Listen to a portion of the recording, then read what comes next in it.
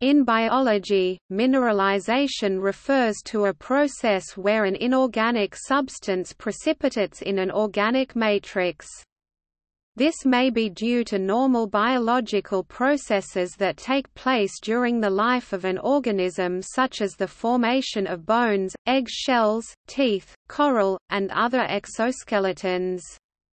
This term may also refer to abnormal processes that result in kidney and gall stones.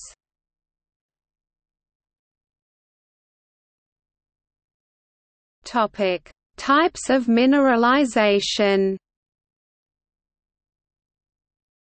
Mineralization can be subdivided into different categories depending on the following, the organisms or processes that create chemical conditions necessary for mineral formation, the origin of the substrate at the site of mineral precipitation, and the degree of control that the substrate has on crystal morphology, composition, and growth.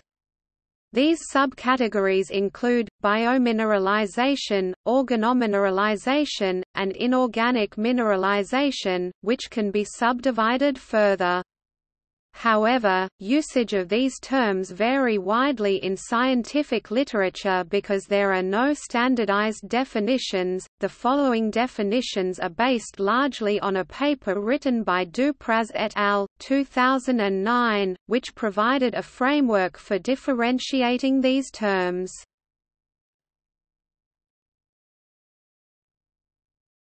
Topic: Biomineralization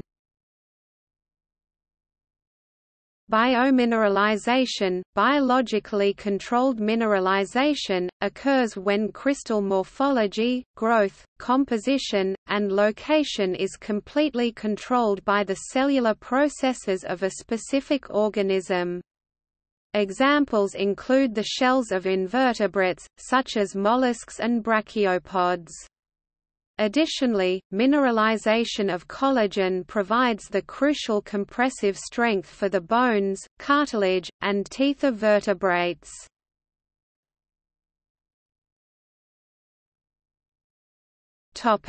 Organomineralization This type of mineralization includes both biologically induced mineralization and biologically influenced mineralization. Biologically induced mineralization occurs when the metabolic activity of microbes e.g. bacteria produces chemical conditions favorable for mineral formation. The substrate for mineral growth is the organic matrix, secreted by the microbial community, and affects crystal morphology and composition. Examples of this type of mineralization include calcareous or siliceous stromatolites and other microbial mats.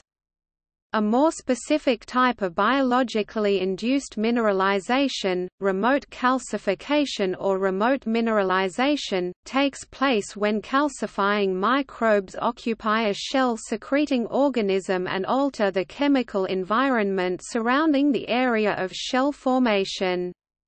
The result is mineral formation not strongly controlled by the cellular processes of the metazoan host i.e. remote mineralization, and may lead to unique or unusual crystal morphologies. Biologically influenced mineralization takes place when chemical conditions surrounding the site of mineral formation are influenced by abiotic processes e.g. evaporation or degassing. However, the organic matrix secreted by microorganisms is responsible for crystal morphology and composition.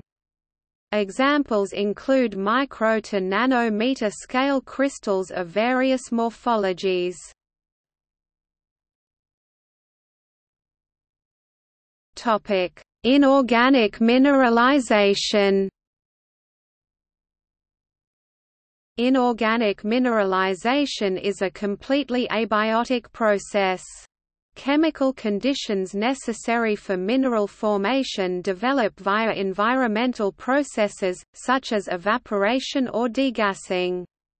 Furthermore, the substrate for mineral deposition is abiotic i.e. contains no organic compounds and there is no control on crystal morphology or composition. Examples of this type of mineralization include cave formations, such as stalagmites and stalactites. Biological mineralization can also take place as a result of fossilization. See also calcification. Bone mineralization occurs in human body by cells called osteoblasts.